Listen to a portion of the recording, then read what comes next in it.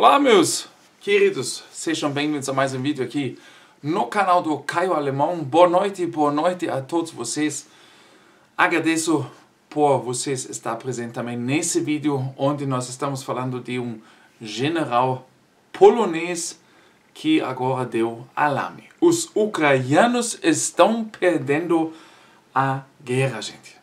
É. E você já pode imaginar se um general polonês diz isso o que a gente pode esperar, o que ele tem na mente para as próximas semanas e meses. Mas escutam só, a situação no fronte, fronto é muito, muito dramático. Adverte o ex-chefe do Estado-Maior da Polônia. Faltam mais de 10 milhões de homens. Além disso, é provável que Putin desencadeia outra onda de mobilização a Polônia e a Europa devem se preparar para a guerra com a Rússia. Ainda faltam dois ou três anos para isso. Uma entrevista na TV com o conhecido general polonês Raimund Adiciak está causando ondas na Polônia. Adiciak, que até recentemente, até o exatamente outubro de 2023, era chefe do Estado-Maior do Exército polonês. Afirma que a Polônia deve se preparar para uma guerra com a Rússia. Ainda restam de dois a três anos. Ele também falou de forma dramática ao canal de notícias Polsat News sobre a situação no front. Essa guerra será pedida pelos ucranianos. Meu Deus, e se agora a nossa União Europeia, os nossos líderes escutam essas previsões desse general polonês. Meu Deus, já que todos os nossos políticos aqui dentro da Europa dizem não, os ucranianos devem, precisam ganhar, gente. Então, vocês já podem imaginar o que pode fazer com que essa previsão desse general possa colocar nas mentes de muitos líderes europeus. Como Macron já disse no passado, né, algumas semanas atrás, tropas terrestres podem ser uma solução nos próximos meses. É, né? Então, cada vez mais nós estamos sendo, vocês estão vendo isso, né, levados a se acostumar com essa ideia. Ele falou aqui em, em 10 milhões de homens, gente, né? Fala de a Polônia deve se preparar, a Europa deve se preparar, dois a três anos, etc, etc. Né? Há um ano, quando muitos ainda tinham esperança na contraofensiva da Ucrânia, ele na época já declarou sem rodeios em uma entrevista na TV: não temos mais munição para a Ucrânia. Na época, vocês lembram talvez, o nosso chanceler teve no país de vocês, no Brasil, né, pedindo munição, né, e foi negado, né, faz um ano, né, e lá esse mesmo general já disse que não temos mais munição para a Ucrânia, nosso setor não está em condições de enviar o equipamento para a Ucrânia e manter nossas próprias reservas cada vez menores.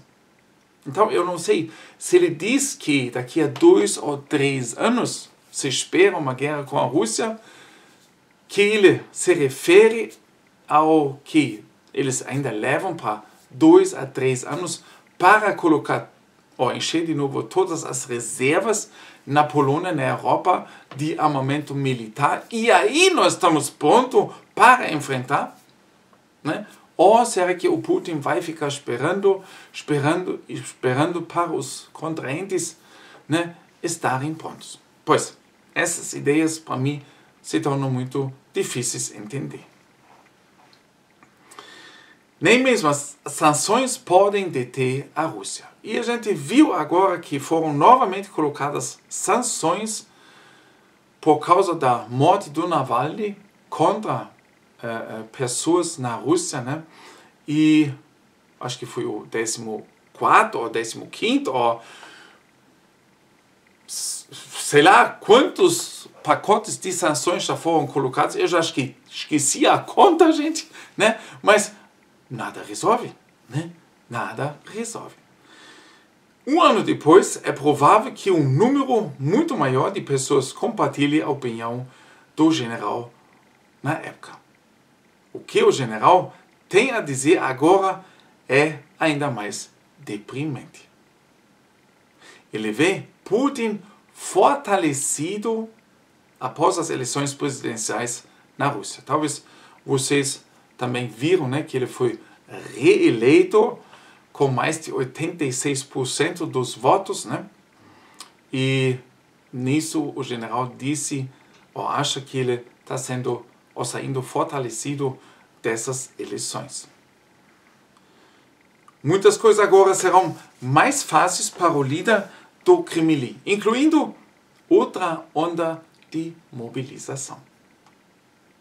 Isso não é um bom presságio nem para a Ucrânia, nem para a Polônia, admitiu o oficial. O convidado da TV também abordou a situação atual no fundo, que ele descreveu como muito, muito dramático. Não há milagres na guerra. Uma mudança de comandante-chefe não poderia mudar a situação. O general Alexandre Ziriski está enfrentando o mesmo dilema que o general Valery Zalushny antes dele. Vocês sabem né, que no exército militar houve uma troca dos líderes militares, né? E esse general polonês disse que isso, na verdade, não mudou coisa alguma. A situação continua a mesma. Só trocar uma pessoa não resolveu nada. Ele teve que retirar as tropas para organizar a linha de frente. Todos os problemas que Zalushny teve permanecem ainda. O general citou como problemas de falta de tropas completas, as dificuldades de mobilização, comentamos também sobre isso, o fornecimento limitado de equipamento e as perdas sofridas pelo exército ucraniano. Faltam mais, ele repete, 10 milhões de homens. Calculo que as perdas sejam da ordem de milhões. Meu Deus, isso um próprio general polonês disse que ele calcula que as perdas sejam da ordem de milhões, não de centenas de milhares. Gente. Vocês sabem como é a guerra?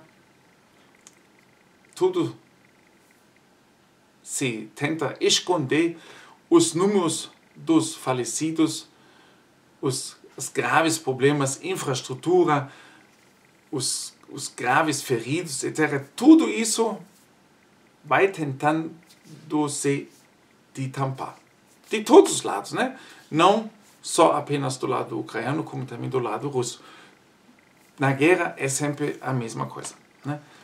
O que a gente pede a, a, a como primeiro é a verdade. Né? Então ele fala de ordem de milhões, gente. O país não tem mais recursos e não tem ninguém para lutar. Isso quer dizer o que, gente?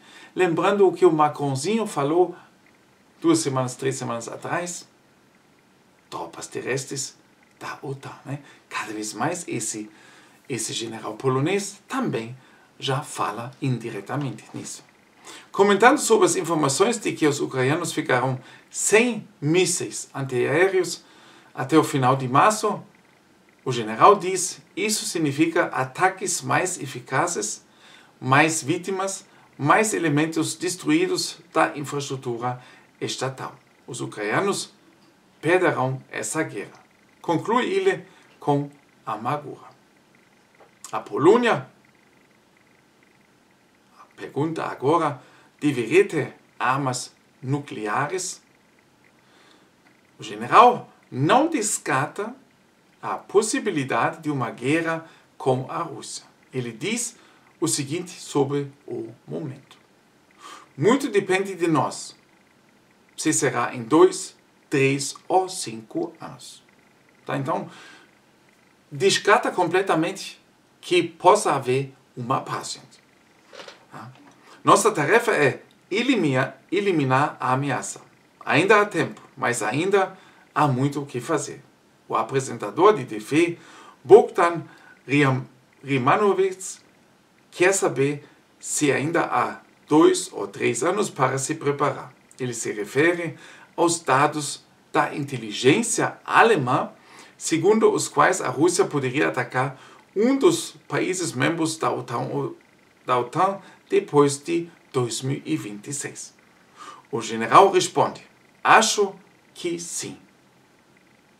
Rimanovsky também pergunta se a Polônia deve permanecer ao grupo de países que possuem armas nucleares. Em minha opinião, absolutamente sim. Isso nos colocaria em uma liga completamente diferente, responde o general.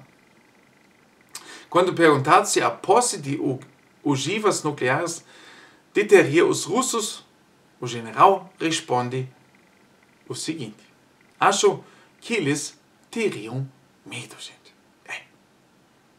Pois bem, nova situação, cada vez mais nós estamos vendo que o povo europeu está sendo preparado para se acostumar com o pensamento da guerra e futuros soldados terrestres da OTAN, gente. Forte abraço, mão no coração, até no próximo vídeo.